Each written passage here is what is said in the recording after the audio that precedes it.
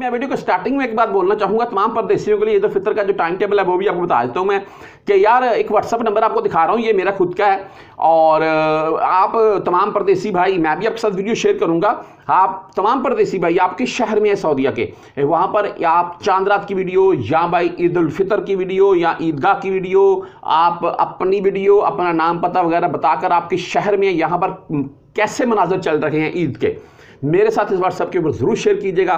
फिर एक इकट्ठी वीडियो में लगाऊँगा। हम तमाम परदेसी भाई बैठकर वीडियो एंजॉय करेंगे और तमाम परदेसी भाई देखेंगे। मिसाल के तौर पर जद्दा में है तो भाई हम रियाज का देखेंगे। रियाज में ईद की नमाज़ कैसी हो रही है? आप तबूक वाले देखेंगे भाई, रियाज में, जद्दा में, मदीना में कैसी नमाज़, वहाँ पर क्या मनाजर थे ईद के? तो मेरे साथ वीडियो ज़रूर शेयर कीजिएगा। रहीम आपके साथ मैं ईद का टाइम टेबल थोड़ा शेयर करूँगा, एक शॉर्ट सी वीडियो मैंने बोला आप तमाम परदेशियों के लिए कि भाई सुबह सऊदी अरबिया के किस शहर में किस टाइम ईद अल फितर की नमाज़ अदा कर दी जाएगी?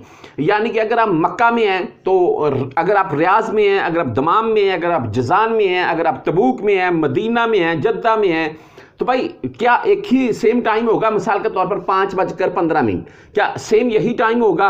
इस टाइम के ऊपर ही रियाज में ईद पढ़ी जाए कि जद्दा में ये डिटेल जो होती है, यानी कि सेम टाइम होगा या इसमें थोड़ा डिफरेंट है, सुन लें।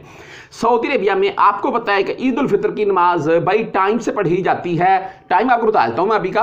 और कोई ऐसा ऐलान नहीं किया जाता है यहाँ पर कि भी हाँ भी कारी साहब को इतने पैसे अभी तक नहीं हुए हैं। पैसे जिन बंदों ने पैसे कारी साहब को नहीं दिए हैं, वो आगे आए, कारी साहब को पैसे दें और उसके बाद ईद उल फितर की नमाज़ अदा की जाए। अच्छी बात है, इमाम मस्जिद है, उनके लिए वो यानी कि जो भी है, आपको हदिया वगैरह जो भी है, देना चाहिए, जारी सी बात है, हमारे इमाम मस्जिद है, पाकिस्तान की बात कर रहा हूँ मैं।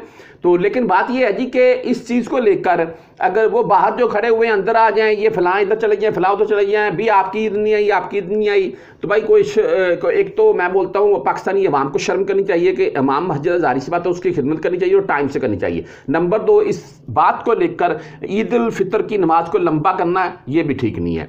तो सऊदिया में ऐसा कोई मुनाजर नहीं आती आपको पता, सऊदिया में ईद उल की नमाज़ का टाइम टेबल बारह आपको बता दूँगा अगर आप मक्का में हैं तो मक्का में मिसाल के तौर पर अगर, मिसाल के तौर पर क्या, मक्का में भाई फजर की जो जमात है, बाद जमात चार बजकर पचास या पाँच बजे के करीब ये ख़त्म हो जाती है उसके, यानी कि जमात के ख़त्म होने के बाद जब सूरज तलू होगा, उसके बाद भाई दस मिनट के बाद सूरज तलू हो जाए, पंद्रह मिनट के बाद सूरज तलू हो जाए, सूरज जब तलू हो जाएगा, सूरज निकल आएगा, सूरज निकलने के पंद्रह मिनट के बाद ईद उल फितर की नमाज़ अदा की जाएगी। आप रियाज में हैं तो रियाज में भी भाई यही सेम होगा।